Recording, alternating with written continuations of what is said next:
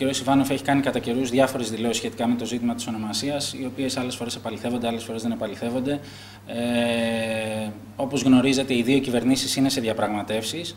Ε, Συνομιλητής της Ελλάδας είναι η κυβέρνηση της πρώην Ιουγκοσλαβικής Δημοκρατίας της Μακεδονίας και περιμένουμε από αυτήν, από την κυβέρνηση που θα προκύψει μετά τις εκλογές, μια επικοδομητική στάση η οποία θα επιτρέψει να έχουμε πρόοδο. Οι προτάσεις που έχει καταθέσει η Ελλάδα στο τραπέζι των διαπραγματεύσεων είναι πάρα πολύ επικοδομητικές και συνιστούν το πλαίσιο για να φτάσουμε πραγματικά σε μια δίκαιη λύση, σε μια βιώσιμη λύση, σε μια λύση που θα επιτρέψει στις δύο χώρες να βελτιώσουν τις διμερείς τους σχέσεις, αλλά και θα ανοίξει το δρόμο για την πρώην Ιουγκοσλαβική Δημοκρατία της Μακεδονίας στην ευρωατλαντική της προοπτική.